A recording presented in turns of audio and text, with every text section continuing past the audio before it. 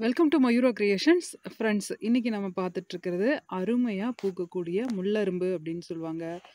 ஊசி மல்லின்னு சொல்லுவாங்க.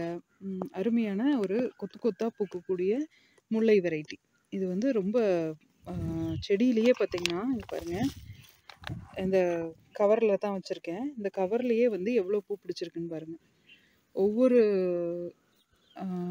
கிளைக்கும். அப்படியே கொத்து கொத்தாக பூ எடுக்கும். இதனுடைய ரகம் வந்து அந்த மாதிரி.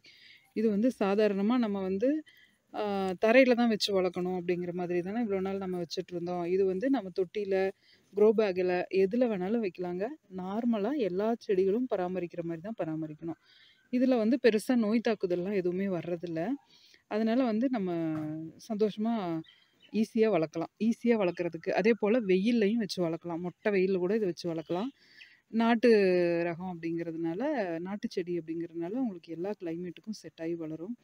ரொம்ப அருமையாக வளரக்கூடிய வெரைட்டி இது வந்து குரு பகவானுக்கு முல்லை ரொம்பவே உகந் உகந்தது. அதனால் வந்து நமக்கு குருவருள் வந்து கிடைக்கும். இதை நம்ம வந்து வீட்டுக்கு முன்னாலேயோ இல்லை வீட்டில் வெயில் படுற இடத்துலையோ அந்த மாதிரிலாம் வச்சு வளர்க்கும் போது நமக்கு குருவருள் வந்து கண்டிப்பாக கிடைக்கும். குரு குருவரில் இருந்துட்டா நமக்கு வேறு எதுவுமே தேவையில்லை. இந்த பூக்கள் வந்து நீங்கள் பறித்து அப்பப்போ குரு பகவானுக்கும் போட்டுட்டு வரலாம். தலைக்கு வச்சுக்கலாம். எப்படி வேணாலும் நம்ம யூஸ் பண்ணிக்கலாம். ஒரு சின்ன தொட்டியில் வச்சு விட்டுட்டிங்கன்னா கூட போதும்.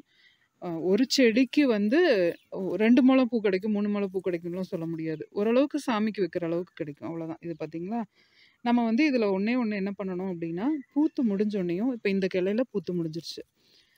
பூ இல்லை பார்த்தீங்களா இப்போ இந்த கிளைய வந்து நம்ம கட் பண்ணி விட்டுறணும். இந்த லீஃப் எல்லாம் கட் பண்ணி விட்டுறணும். ஒரு சின்ன கத்திரி வச்சு கட்டர் வச்சு இப்படி அந்த லீஃப் எல்லாம் கட் பண்ணி விட்டுட்டிங்கன்னா உங்களுக்கு வந்து அதுலேயே இன்னொரு கிளை தழைச்சி வளரும். அந்த மாதிரி வளரும்போது உங்களுக்கு நல்ல ஒரு எஃபெக்ட் இருக்கும். நீங்கள் இந்த ஃபர்டிலைசர்ஸ் எல்லாம் நம்ம நிறைய காம்பவுண்ட் எல்லாம் கொடுத்துருக்கோம் இல்லையா? அது மாதிரி வாங்கி வச்சுருந்தீங்கன்னா அந்த ஃபர்டிலைசர்ஸ் வந்து நீங்கள் ஊற்றுனீங்கனாவே போதும். ஒரு ஒரு ஒரு வாரம் ஒரு தடவை ஒரு அஞ்சு லிட்டர் தண்ணியில் ஃபர்டிலைசரை மிக்ஸ் பண்ணி அதனுடைய வேரில் நல்லா ஈரமாகிற மாதிரி ஊற்றுனீங்கனாவே நல்லா வளர்றக்க ஆரம்பிச்சிடும் இலைகளை கட் பண்ணி விட்டு கரெக்டாக ஃபர்டிலைசர் கொடுத்தீங்கன்னா போதும்.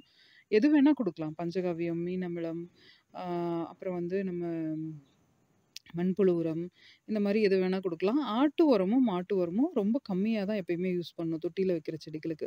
இல்லைன்னா அதுவே பிரச்சனையாயிரும். நல்ல தொழு உரம் மக்குன்னு தொழு உரமாக இருந்தால் வேணால் கொஞ்சம் சேர்த்து கொடுக்கலாம். அதனால் அதை மட்டும் கவனமாக பார்த்துங்க நிறைய பேர் ஆட்டு உரத்தை அள்ளி கொட்டிட்டு செடி காஞ்சி போச்சுன்னு சொல்லி ஃபோன் பண்ணுவாங்க. அதனால தான் நான் இந்த டிப்ஸை வந்து சொல்கிறேன் ஆட்டு உரம் மாட்டு உரம்லாம் ரொம்ப அதிகமாக கொடுக்காதீங்க அப்படின்னு சொல்லிட்டு. அது நல்ல உரம் தான். ஆனால் அளவுக்கு அதிகமாக போகக்கூடாது. இந்த மாதிரி வந்து நீங்கள் முல்லை வளர்த்தீங்க அப்படின்னா சூப்பராக வரும். உங்கள் வீட்டில் வாசனையாக இருக்கும். சாயந்தரம் ஆயிட்டாவே நல்லா குப்புன்னு பூத்து அப்படியே வீடு பூரா மணக்கும். இது வந்து நீங்கள் ஆர்டர் பண்ணுறதுனா நம்ம வெப்சைட்லேயும் ஆர்டர் பண்ணிக்கலாம். வாட்ஸ்அப்லேயும் ஆர்டர் பண்ணிக்கலாம். என்கிட்ட கால் பண்ணி கூட நீங்கள் ஆர்டர் பண்ணிக்கலாம்.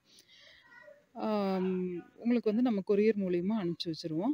இந்த வீடியோவுக்கு கீழே என்னென்ன ஆஃபர்ஸ் நம்மகிட்ட இப்போ ஸ்டாக் இருக்குது அப்படிங்கிறோட லிஸ்ட்டும் கொடுத்துருக்கேன் பாருங்கள் டிஸ்கிரிப்ஷனில் தேவைப்படுறவங்க ஆர்டர் பண்ணிக்கலாம். இது போல் பயனுள்ள தகவல்களுக்கு நம்ம சேனலை சப்ஸ்கிரைப் பண்ணுங்கள் லைக் பண்ணுங்கள் ஷேர் பண்ணுங்கள் தேங்க்யூ